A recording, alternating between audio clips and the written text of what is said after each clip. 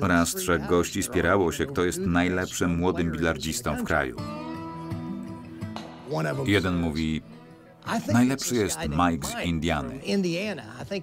drugi na to, Nie, najlepszy jest Butch z Tennessee.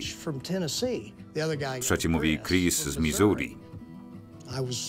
Pękałem ze śmiechu, bo to ja byłem tymi trzema graczami. Przez wiele lat musiałem używać pseudonimów. Mieliśmy tajne stowarzyszenie graczy w drodze, Spotbugs. Założyliśmy czarny zeszyt, gdzie wpisywaliśmy miasta i nazwiska ludzi. Graliśmy z tymi, których można było szybko ograć z dużej kasy.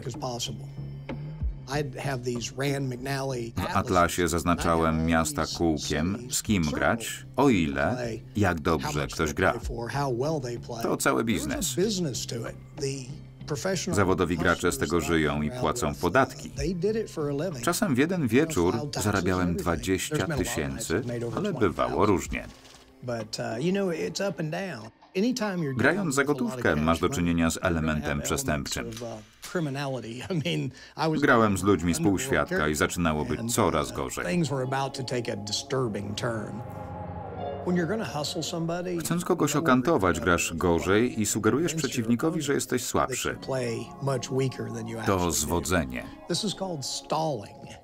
Dorównujesz, trzymasz poziom, prowadzisz. Najpierw dorównujesz poziomem do przeciwnika, później trzymasz poziom, a następnie prowadzisz go do łzy przegranego. W 1986 do kin wszedł film Kolor pieniędzy o zawodowych bilardzistach. Ale to ja byłem prawdziwym zawodowcem.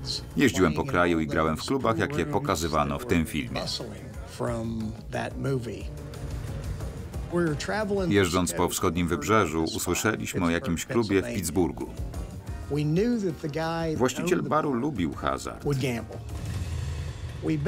Wóz nam się psuł, a nie chcieliśmy utknąć na jakimś pustkowiu. Weszliśmy do baru. Włożyłem okulary zerówki. Na okładce Billard News widniało moje zdjęcie, a w okularach byłem jak Clark Kent w Supermanie. Nikt nie zwracał na mnie uwagi. Dostrzegano mnie, gdy zdejmowałem okulary.